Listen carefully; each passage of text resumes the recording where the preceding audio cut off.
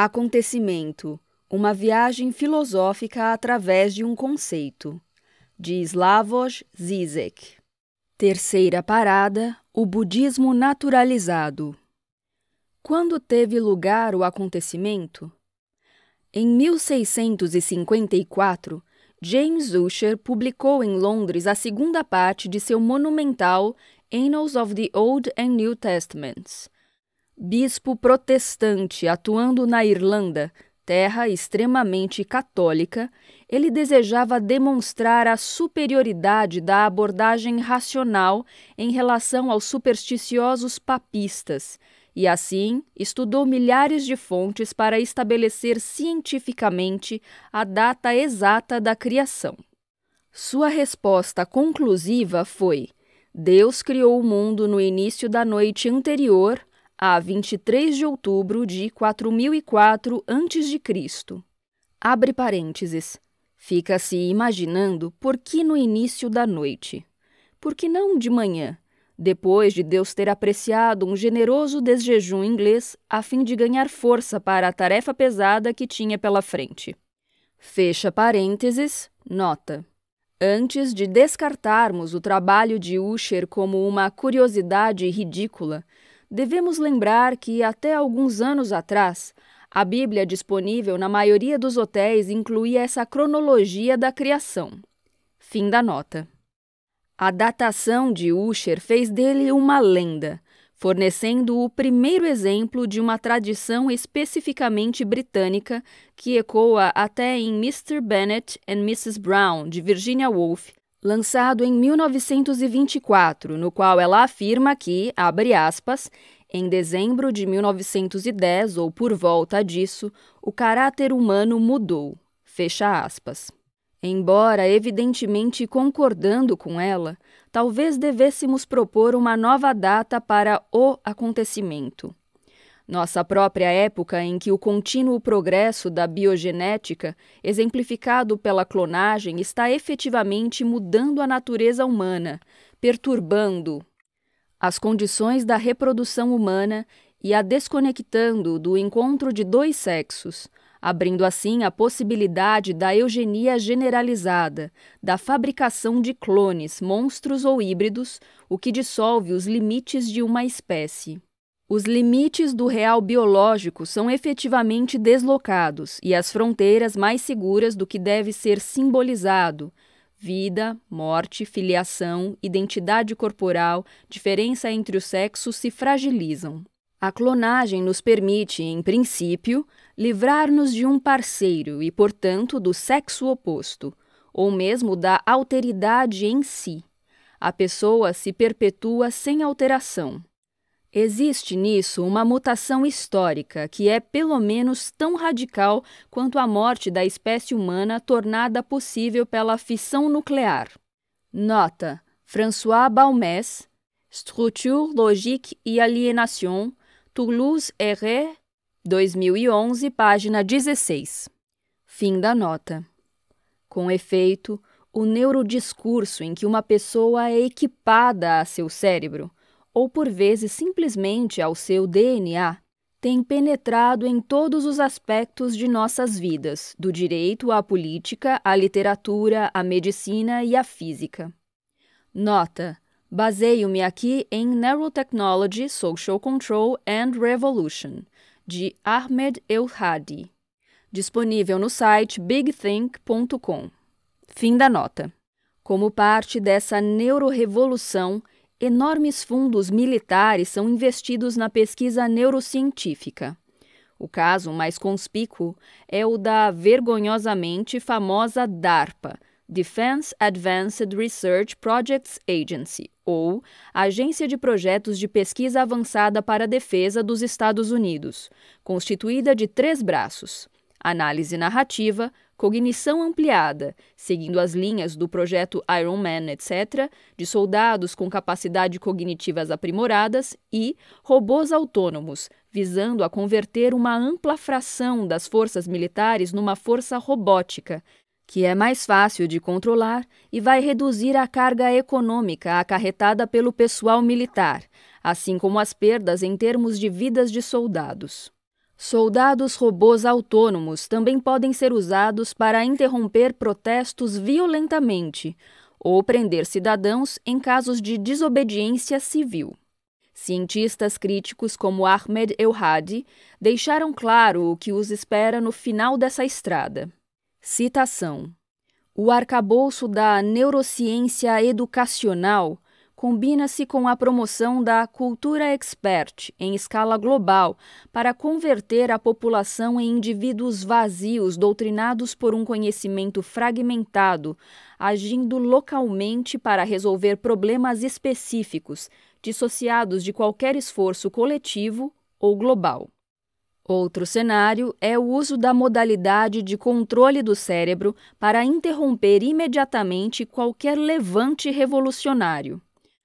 Além de controlar nossas narrativas cerebrais e de soldados robóticos autônomos, modalidades de controle do cérebro também podem incluir drogas neurotrópicas que alterem o estado psicológico dos indivíduos, neurotoxinas capazes de controlar ou interromper a atividade do cérebro e agentes neuromicrobiológicos que lhe transmitam patógenos, tornando-o assim disfuncional.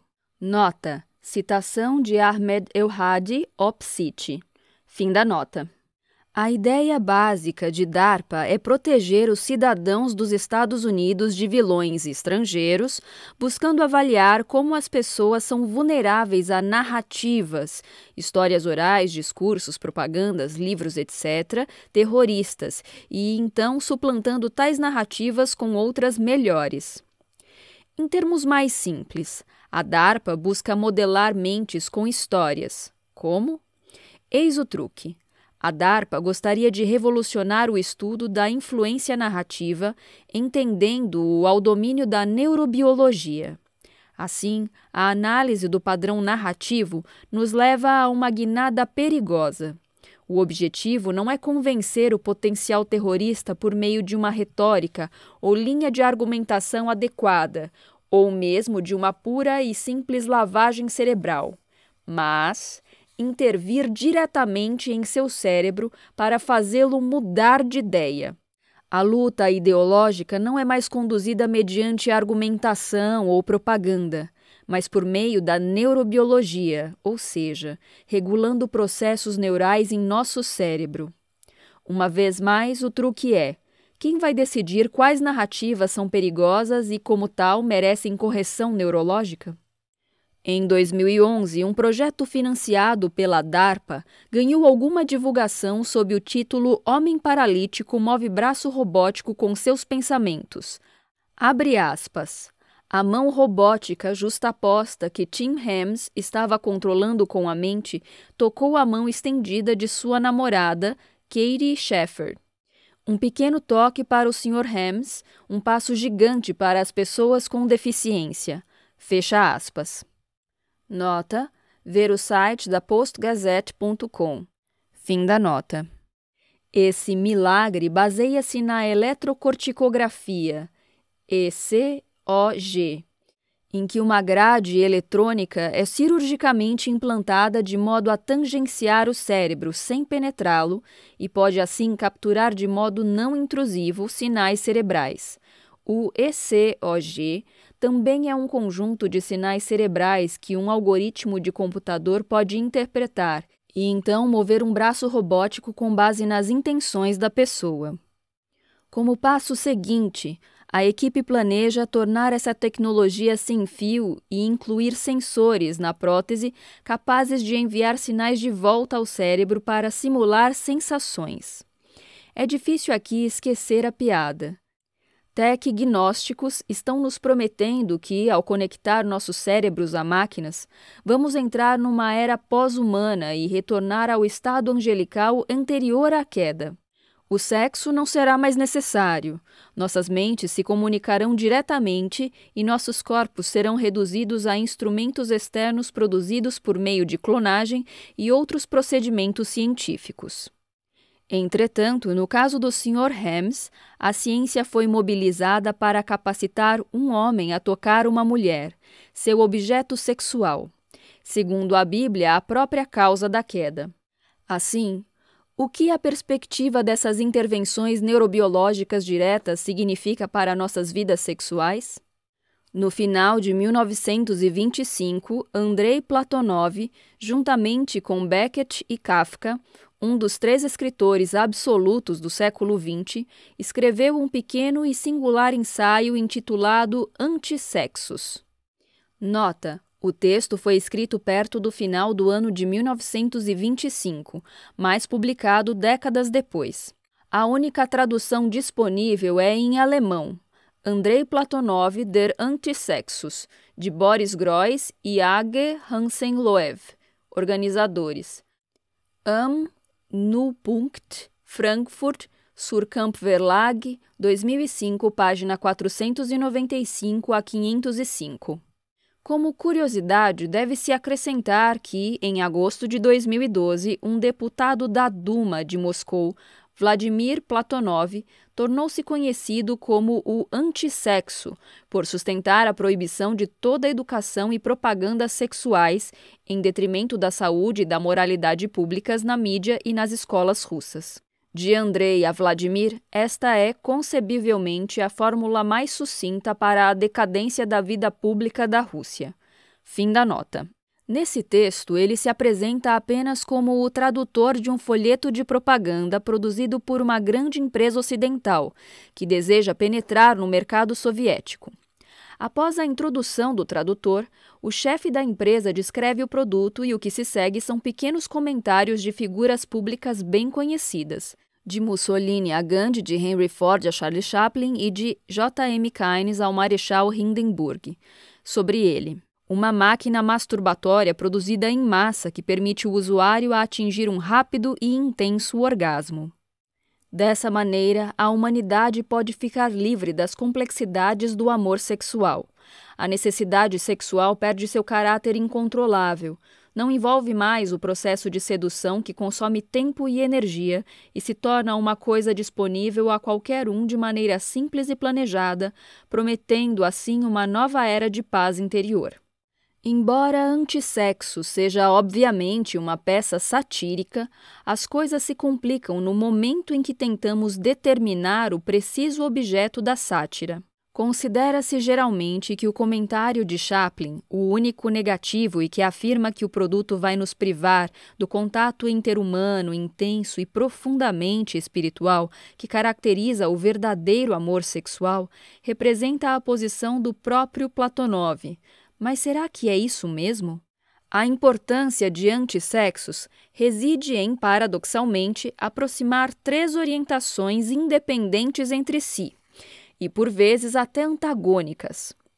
A equação do sexo com a queda, que caracteriza a tradição dualistas dos gnósticos, abre parênteses. O gnosticismo afirma possuir uma percepção espiritual direta de nossa realidade que se compõe de duas forças opostas, luz e escuridão, bem e mal. O mundo material da procriação é, por definição, mal, tendo sido produzido por um criador demiurgo celestial inferior e não pelo próprio Deus. Platonov ficou muito impressionado com a seita dos Skopsi, cujos integrantes homens se castravam voluntariamente. Fecha parênteses. A perspectiva biotecnológica da regulação total ou mesmo a abolição do sexo e a comodificação deste no consumo capitalista.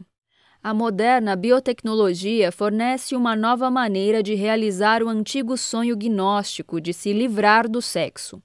Entretanto, o dispositivo que o faz vem do capitalismo e se apresenta como a mercadoria ideal.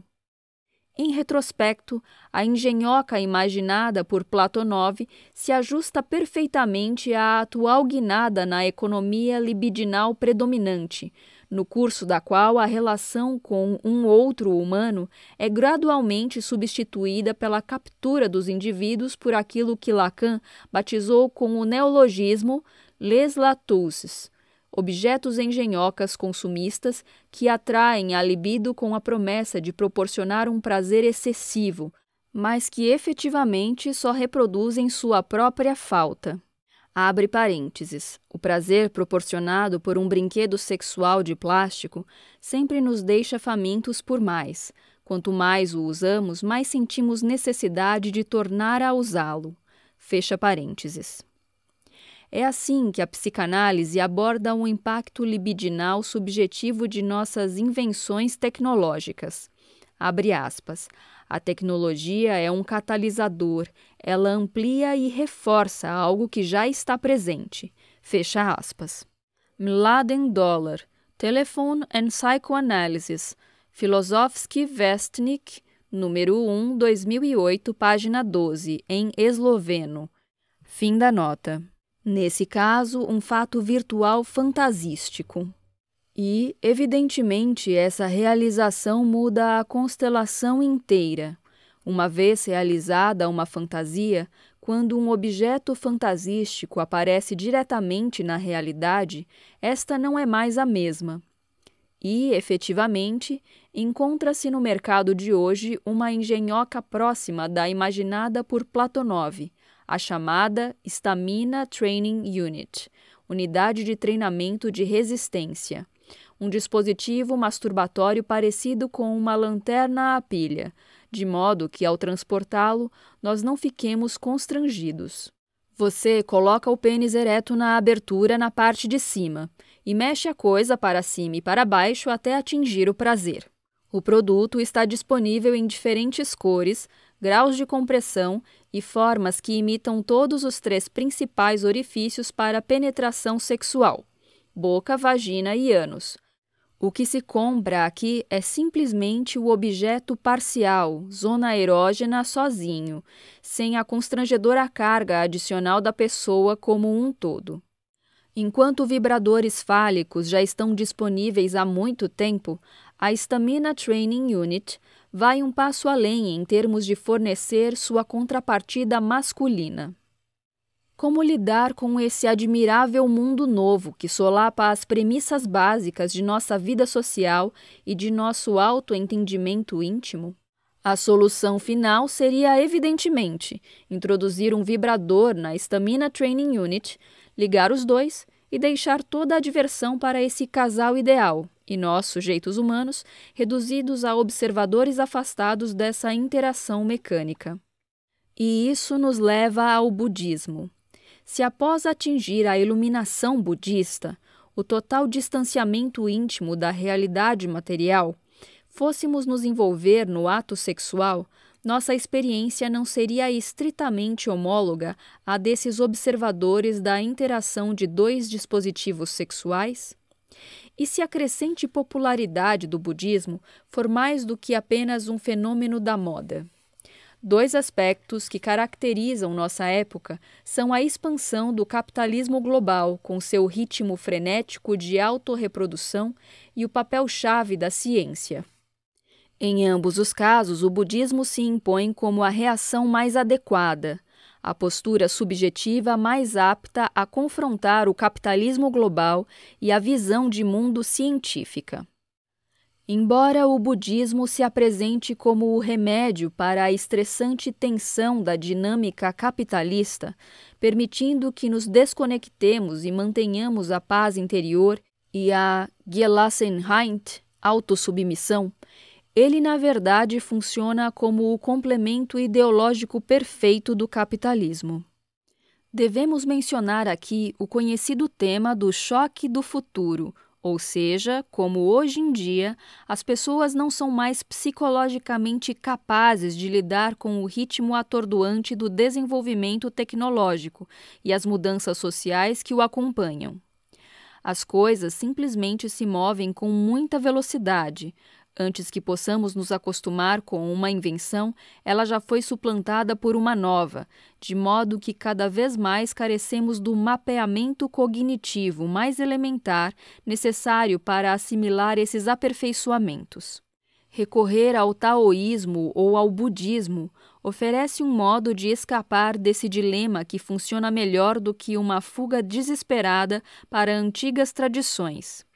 Em vez de tentar enfrentar o ritmo acelerado do progresso tecnológico e das mudanças sociais, devemos renunciar à própria luta para manter o controle do que acontece, rejeitando-a como expressão da moderna lógica da dominação.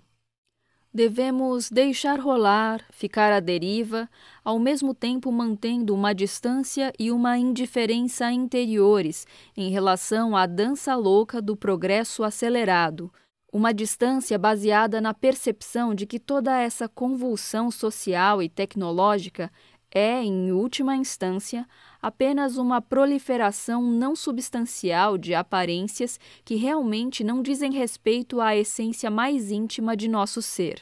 Quase somos tentados a ressuscitar aqui o infame clichê marxista da religião como o ópio do povo. O caminho meditativo do budista ocidental é para nós, possivelmente, a maneira mais eficaz de participar de maneira plena da dinâmica capitalista enquanto se mantém a aparência de sanidade mental.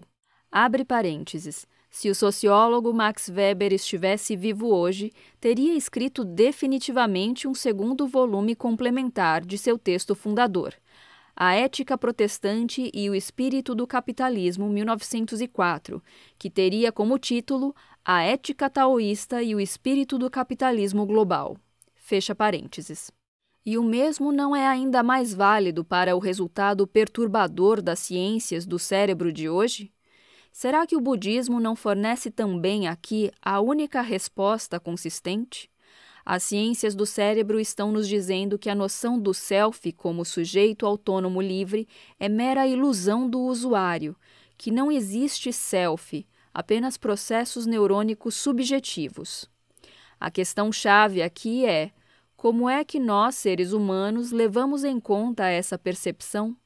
Seria possível não apenas imaginar o mundo sem self como modelo teórico, mas vivê-lo? Viver como sendo ninguém, Filósofos e cientistas propõem aqui diferentes respostas. Sua atitude predominante é contornar a brecha entre a visão científica de nós mesmos e nossa própria experiência cotidiana como agentes autônomos livres, Embora a ciência nos diga que não existe um self com livre arbítrio, apenas processos neurais e biológicos objetivos, sempre vivenciamos nós mesmos como selves, da mesma forma que, embora saibamos que a Terra gira em torno do Sol, continuamos a falar sobre o Sol nascendo e se pondo. Alguns filósofos, como Jürgen Habermas, afirmam que nossa autopercepção como agentes livres e responsáveis não é apenas uma ilusão necessária, mas uma condição transcendental necessária do conhecimento científico. Harbemas desenvolveu essa posição em resposta a um manifesto em que 11 neurocientistas alemães proeminentes afirmaram que nosso conceito comum de livre-arbítrio está a pique de ser superado por recentes avanços em neurobiologia. Abre aspas. Estamos à beira de vermos nossa imagem de nós mesmos ser consideravelmente abalada num futuro previsível.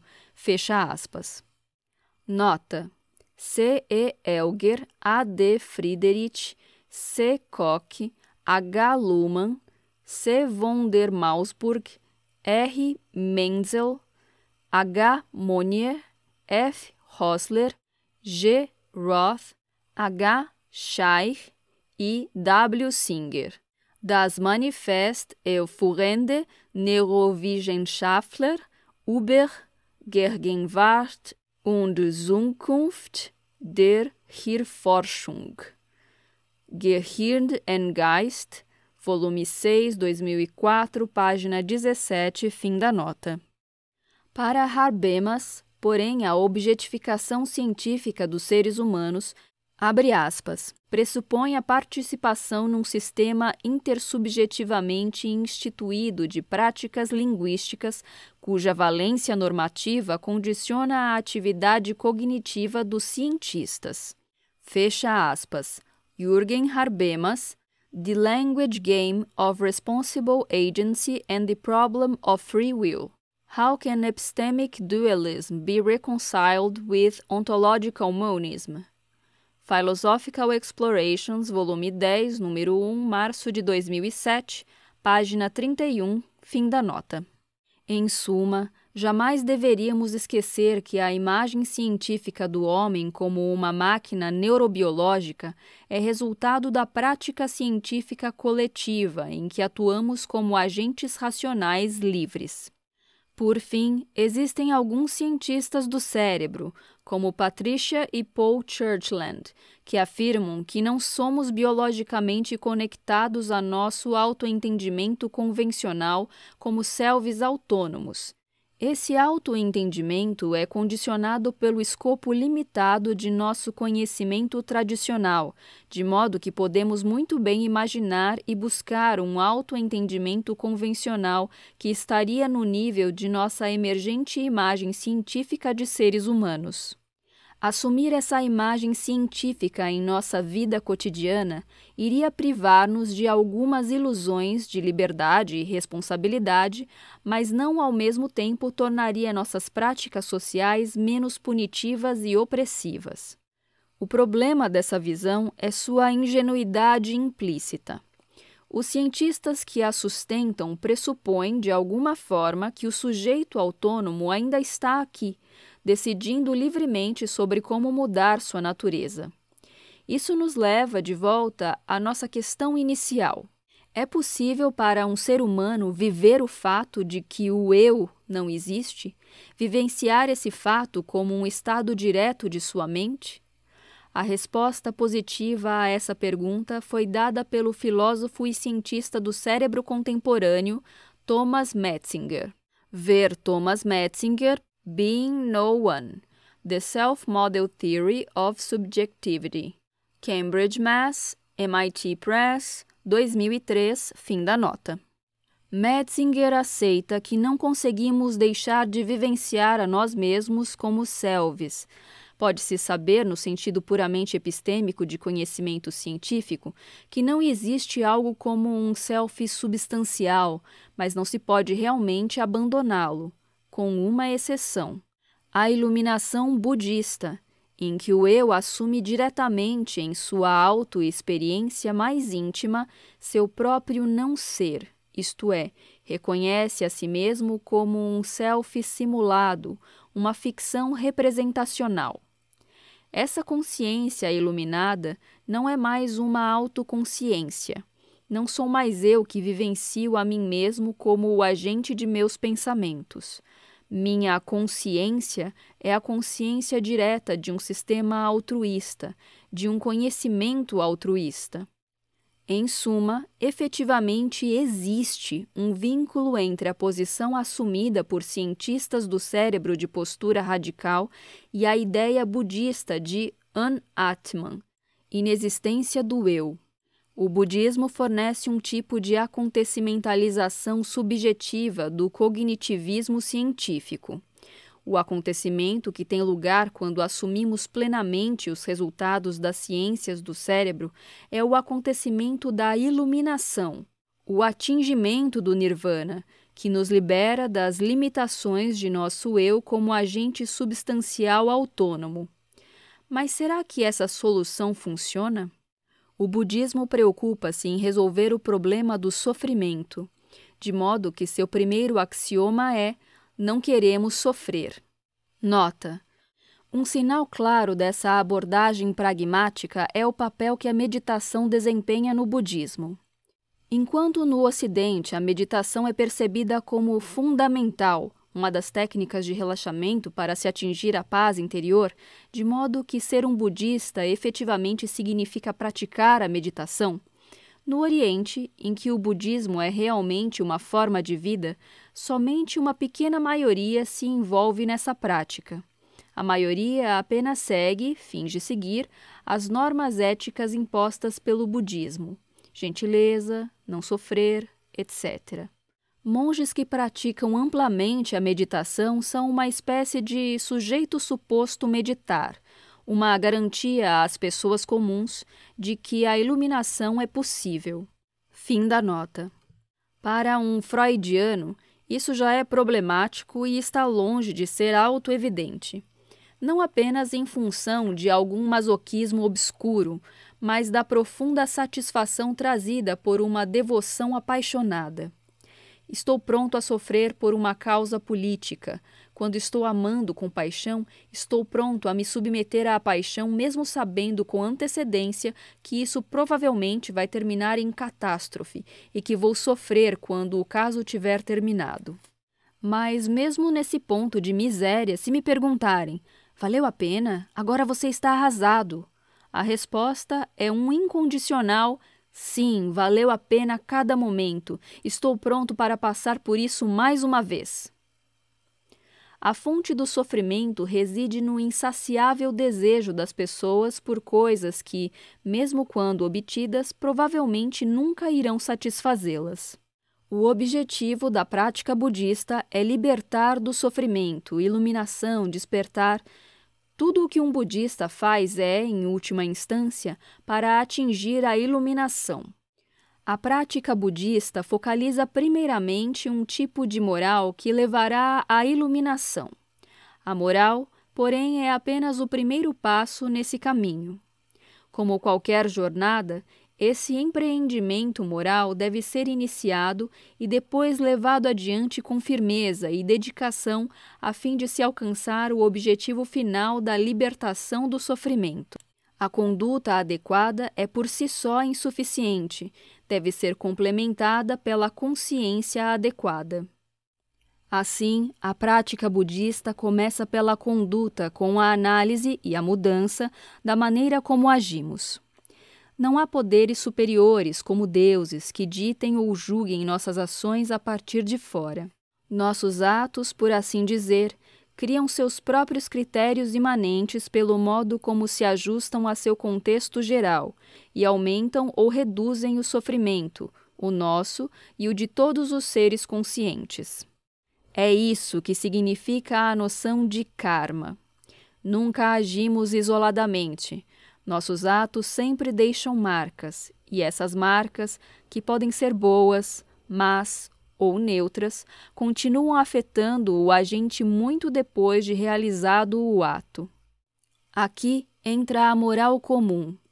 O primeiro passo da prática budista é treinar-nos para que identifiquemos e gradualmente nos livremos das ações deletérias que ocorrem em três níveis: corpo, fala e mente. Existem três ações deletérias do corpo que devem ser evitadas: assassinato, roubo, delito sexual.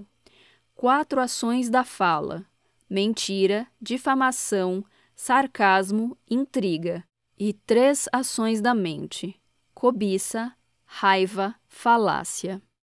Quando diminuímos gradualmente esses atos deletérios, seguindo o caminho do meio de evitar extremos, estamos perto de, embora não ainda prontos para, entrar na iluminação, em que adquirimos um desinteresse por objetos e assim nos liberamos do sofrimento, dukkha, e do ciclo de eternos renascimentos, samsara. Portanto, o que ocorre com nosso karma quando nos encontramos no nirvana, a destituição subjetiva dos budistas? Nossos atos deixam bons vestígios? A resposta budista é não. Quando nos encontramos no nirvana, nossos atos não deixam vestígios. Estamos a uma distância reduzida da roda do desejo. Mas aqui surge um problema. Se atos moderadamente bons, a moral elementar com que aconteça a prática budista, nos ajudam a nos livrarmos de nossos apegos excessivos, então não deveríamos ser capazes, ao atingirmos o nirvana, de perpetrar até mesmo ações brutais de maneira que elas não deixem vestígios, porque as realizamos à distância? Não seria exatamente essa habilidade o sinal de reconhecimento de um verdadeiro bodhisattva? Isso não é apenas o resultado de uma especulação abstrata, mas uma realidade histórica. Há uma longa tradição de guerreiros budistas do antigo Tibete ao Japão e à Tailândia de hoje que afirmam que a atitude de desapego da iluminação produz uma perfeita e fria máquina de matar. Nota: ver Michael Jarrison e Mark Juggensmeyer, Buddhist Warfare, Oxford, Oxford University Press, 2010, fim da nota. Para esclarecer esse ponto crucial, observemos o momento-chave do caminho budista, a mudança reflexiva do objeto para o próprio pensador. Primeiro, isolamos a coisa que nos incomoda, a causa de nosso sofrimento. Depois, mudamos, não o objeto, mas nós mesmos, a maneira como nos relacionamos com o que nos parece ser a causa desse sofrimento. Abre aspas. O que se extinguiu foi apenas a falsa visão de si. O que sempre foi ilusório foi entendido como tal. Nada se alterou senão a perspectiva do observador. Nota: Mark Epstein, Thoughts Without a Thinker. Nova York, Basic Books, 1996, página 83. Fim da nota. Essa guinada envolve muita dor não é meramente uma libertação, um passo na direção de uma euforia incestuosa do que Freud denominou sentimento oceânico, mas também a violenta experiência de ficar sem chão, de ser privado do ingrediente mais íntimo de nosso ser. É por isso que o caminho que leva à iluminação budista começa focalizando o sentimento mais elementar de inocência ferida, de sofrer uma injustiça sem causa o assunto preferido dos pensamentos masoquistas narcisistas. Abre aspas. Como ela pôde fazer isso comigo? Eu não mereço ser tratado dessa forma. Fecha aspas. Nota. Ibid, página 211. Fim da nota. O passo seguinte é fazer a guinada para o próprio eu, para o objeto dessas emoções dolorosas, tornando clara e palpável sua própria condição transitória e irrelevante. A agressão ao objeto que causa sofrimento deveria virar-se, em vez disso, contra o próprio eu. Nós não reparamos o dano, ganhamos uma percepção da natureza ilusória desse dano, daquilo que deve ser reparado. Aqui, contudo, tropeçamos numa ambiguidade fundamental do edifício budista. Seria o nirvana o objetivo da meditação budista, apenas essa guinada na postura do sujeito diante da realidade? Ou o objetivo seria a transformação fundamental da realidade em si, de modo que todo o sofrimento desapareça, que todos os seres vivos sejam aliviados de seus tormentos? Ou seja, o esforço de entrar no nirvana não ficaria preso entre dois extremos radicalmente opostos, o minimalista e o maximalista? De um lado, a realidade permanece como é. Nada muda. Ela só é plenamente percebida tal como é, um mero fluxo insubstancial de fenômenos que realmente não afetam o vazio no cerne de nosso ser. De outro, o objetivo é transformar a própria realidade de modo que nela não haja mais sofrimento, que todos os seres vivos atinjam o nirvana. Esse problema-chave retorna em diferentes versões, repetindo-se em formas deslocadas. 1. Um, quando atingimos a iluminação e nos libertamos, devemos permanecer aqui ou, por amor à humanidade sofredora, retornar para ajudar outros a se libertarem. 2. Seria possível ultrapassar a brecha entre a iluminação e a atividade ética, aspas, como se passa da percepção metafísica de que não tenho um eu a ética da compaixão e da gentileza amorosa em relação aos outros, que também não são eus? Fecha aspas. Nota: Owen Flanagan, The Bodhisattva's Brain Buddhism Naturalized, Cambridge, Mass., MIT Press, 2011, página 160. Fim da nota. Também não é possível extrair de Ann Atman a conclusão oposta. Viver plenamente o presente e buscar todos os prazeres possíveis sem preocupação com os outros? 3. Como podemos distinguir a felicidade atingida pelo trabalho duro, a disciplina e a meditação da que é alcançada por meio de pílulas mágicas, falsas crenças, métodos químicos, se não existe uma distinção imanente no que se refere à qualidade da felicidade? Em outras palavras, Felicidade imerecida ainda é felicidade. Além disso, uma vez que sabemos que a felicidade pode ser alcançada por meios químicos, não é o caso de termos de aceitar que toda a felicidade se baseia em processos químicos, incluindo os que se dão em nosso cérebro quando meditamos? Assim, realmente não há diferença entre felicidade merecida e imerecida. Em ambos os casos, o processo subjacente é químico. Em outras palavras, se a iluminação pode ser gerada por meios químicos, pílulas de iluminação, essa iluminação seria ainda verdadeira, um acontecimento espiritual autêntico? O que esses impasses do budismo indicam é que é difícil, se não de todo impossível, ficar livre da dimensão da subjetividade no sentido de agência responsável livre. Existe sempre algo falso em simplesmente aceitar o destino ou em tratar a si mesmo como uma entidade objetiva, parte da realidade neurobiológica. Essa inverdade se torna absolutamente clara no modo como Ted Hughes relata a forma como traiu Sylvia Plath. Se, na história da literatura moderna, já houve uma pessoa que exemplificasse a derrota ética, esta é Ted Hughes.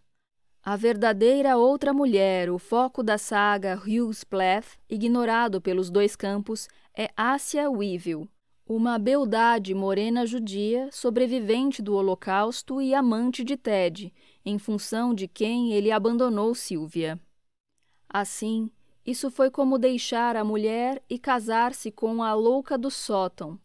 Mas, para começo de conversa, como é que ela enlouqueceu? Em 1969, ela se matou da mesma forma que Sylvia tinha feito, envenenamento por gás, mas também matando Shura, sua filha com rios. Por quê? O que a levou a essa singular repetição? Essa foi a verdadeira traição ética de Ted, não Sylvia.